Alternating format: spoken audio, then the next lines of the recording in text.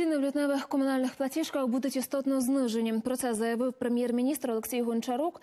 Він визнав факт зростання комунальних тарифів у січні. Однак, через подешевшення газу поточного місяця, на переконання глави уряду, українцям вдасться заощадити. Гончарук упевнений, загалом за цю зиму користувачі заплатять за газ менше ніж торік. В лютому платіжка буде значно нижчою, тому що тема, що- ми зараз бачимо, вона буде навіть нижча, ніж в грудні.